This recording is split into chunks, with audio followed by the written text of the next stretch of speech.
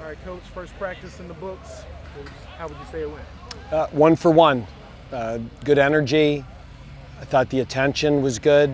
Uh, guys seem into it, and that's what you want. You know, we had a, a long year last year, played a lot of games. We purposely started spring football late.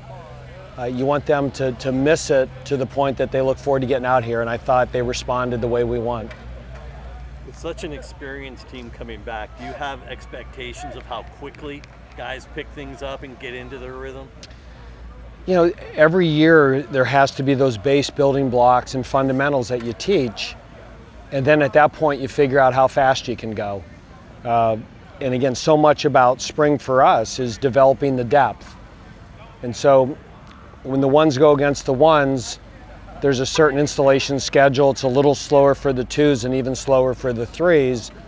And eventually you hope those twos and those threes catch up to the level of the ones.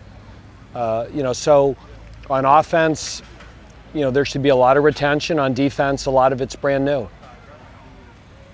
With that brand new defense, what did you see today? Did you see the guys picking it up pretty quickly? Or? Oh, it's, you know, I'm going to give the cliche. I'm going to watch the film and yeah, I, I, would say you didn't see a lot of missed alignments. You didn't see big plays because guys weren't where they were supposed to be. You know, when there's a big play because a guy beats a guy for a post or makes a, you know, a, a 50-50 catch, you know, those are ones you live with. But just off the film or not, or just off of the, the eye from practice, you know, we seemed to be aligned and assigned and didn't give up big plays because we didn't know what to do one guy I saw in the mix a lot uh, with the ones that I like was on defense was Isaiah Wingfield. Is that a guy you really need to kind of take that next step forward this season? We do. If he can kind of do what Donald Stewart did. You know, Isaiah got here after graduating from Harvard last summer, and he was coming off of a knee surgery. And, you know, I don't know if he ever was completely healthy. And I think now that he understands like the difference in level of football and what has to happen to play at this level, he is completely bought in. He had a great offseason. He's gotten stronger. He's healthy. Uh, really one of those guys, you know, in, in, our awakening in the weight room, you know, he, there's a different energy to him. Um, and yeah, we need him to take that next step, and we need him to do on defense what Donald Stewart did on offense last year. Really good analogy, because that's seeing him out there with the ones was the first thing that popped off the off the field to me. I wasn't wasn't ready for that. So. Yeah, and, and, and he's earned it by his offseason. Uh, and, you know, there'll be a lot of guys in that mix. You know, we got Kobe Davis back and uh, Zion's out there. And, you know, even though we don't have Malik, we got Jalen Garnes back. Uh, so there's going to be a lot of good players in the mix, but he has put himself with his offseason into that group of guys we're counting on. Santino position change? Can you walk me through that? Yeah, I mean, Santino, if you watch his high school film, he did a great job running the football. And we just got to appoint a point at quarterback with Sam back and with Mitch and, the, and Michael Kern and the progress that Billy made. And, you know, he just wasn't going to get reps at quarterback.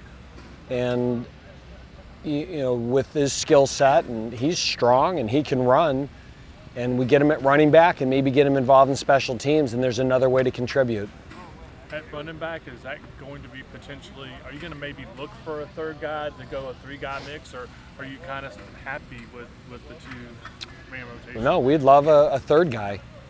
I mean, it, the, the standard, it isn't like we want one or want two or want three. Are you good enough to help us win?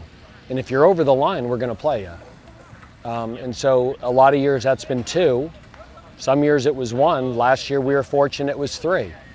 And so whether it's a two-man mix between Justice and Christian or Quinton Cooley or Will Towns or uh, you know another young guy comes in here that we signed, you know there's an opportunity to get a third guy involved. And the more guys we get involved, now those guys can become really good special teams players for us. One of the reasons Christian Beal Smith was able to be such a good special teams player is we had two other playable running backs. With the acknowledgement that it's just day one and everybody's a little upbeat. With your theme of mindset, how do you rate the mindset of the of the team today? I thought it was excellent. I think they came out here excited to be at practice, excited to be doing football. Uh, you know, when the coaching was going on, they were staring coaches in the eyes. They were applying the coaching.